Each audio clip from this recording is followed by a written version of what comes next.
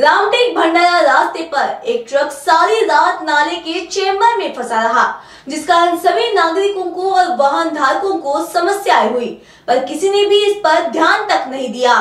रामटेक से भंडारा रोड पर आए दिन वाहन खड़े रहते हैं, पर अब ऐसी घटना सामने आई है जिससे न सिर्फ़ रामटेक के नागरिकों को, बल्कि भंडारा के नागरिकों को और रामटेक भंडारा हाईवे रोड से आवागमन करने वाले सभी वाहन धारकों को समस्या उपस्थित हुई।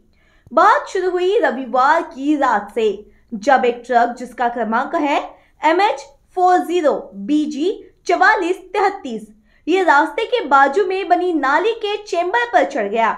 और इतना ही नहीं, बल्कि ये ट्रक ओवरलोड था, जिसमें 500 के जगह 600 फीट गिट्टी भरी हुई थी। जिस कारण नाली का चेम्बर फूट गया और ट्रक का पहिया पूरी तरीके से नाली में धस गया।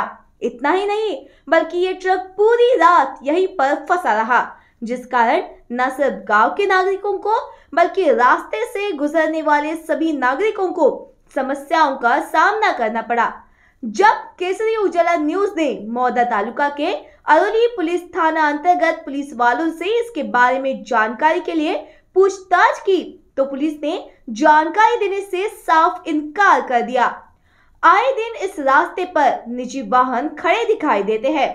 मात्र यातायात सुचारू करने के लिए ना तो कोई पुलिस कर्मी यहाँ होते हैं, ना ही कोई ट्रैफ़िक हवालदार यहाँ दिखाई देते हैं।